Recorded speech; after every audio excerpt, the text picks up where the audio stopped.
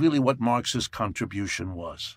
For him, capitalism was unequal, unstable, and unjust. It didn't reward people according to their needs or their hard work. It didn't reward people in anything like equality. And when Marx analyzed it, you know what he looked at? It's sort of interesting. He looked at the workplace, at the factory, the office, the store. And he noticed that in those situations were the roots, the core cause of capitalism's inequality, instability, and injustice. In the very details of production, what Marx devoted himself to in Volume 1 of Capital, his major life work that he published in 1867.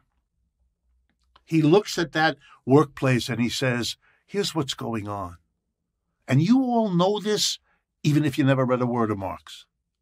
He says, Here's what's going on. A tiny number of people, the owner of the business, maybe the partnership that runs it, maybe if it's a corporation, the board of directors, 10, 15 people, they make all the key decisions. They decide what's to be produced, how it's to be produced, where it's to be produced, and what is done with the output that all the workers help to produce. But all the workers are excluded from making the decisions. They have to live with the results. They have to do the work or else they're fired and their lives are wrecked. They're not free. They don't have much liberty. They have to come to work. But all the key decisions are made by a tiny group of people that are in no way accountable to the mass of the employees. There's no democracy in the workplace, and Marx lays that out. And then he, he finishes it. He says to us, and I'm going to paraphrase now think about the basic deal between the employer and the employee. The employee comes says, I want a job. The employer says, I got one.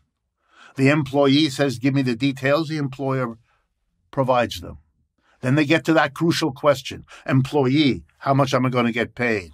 Employer, let's see, would $20 an hour work out? And let's suppose this employee wants that. After all, in the United States, the minimum wage is $7 and a quarter as I speak to you, and $20 is three times the minimum wage, just about.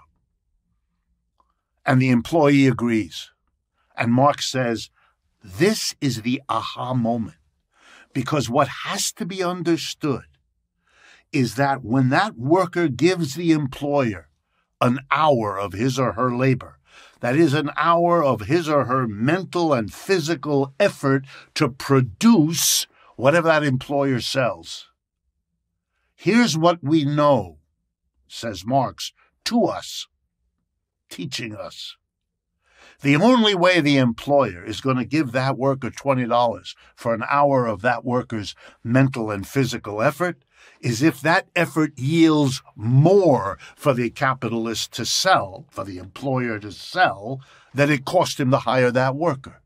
The extra hour, I'll give you 20, but I've got to have more than 20 worth of extra output when it comes time to sell what you've helped to produce. Because the difference between what I pay you and what I get from your labor, that's my profit. And that's what I'm in business for. And if that isn't enough, I'm not going to hire you. So the worker gets back what he, she needs to reproduce himself. The capitalist, the employer, gets back the profit each worker's labor helps to contribute. That's why the workers are perpetually barely making ends meet and deep in debt and the employers get richer and richer as they succeed in playing the capitalist game. So Marx's conclusion was clear. This system has to be changed. This system, and right at the core, in the workplace, we have got to stop an arrangement in which a mass of people work hard to enable a very small number of people to control everything and to amass the riches that labor together achieves. If we don't change that system, we will be looking at inequality, instability, injustice forever. That's why the system has to be changed. Very similar to the logic of slaves saying, look, look, look, we're not going to successfully escape the horrible conditions we're in.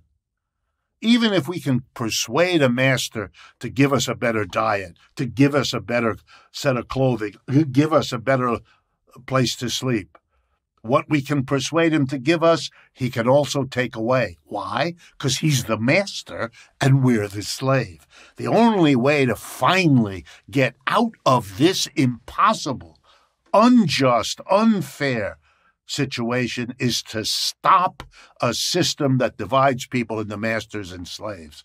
And Marx says we're going to have to do something like that here in capitalism also. Stop some of us from being employers and others the employee. If the 13th Con- Amendment to the U.S. Constitution abolishes slavery, then a future amendment will have to abolish employment. This is an arrangement that has produced many more problems than we as a system are able to solve.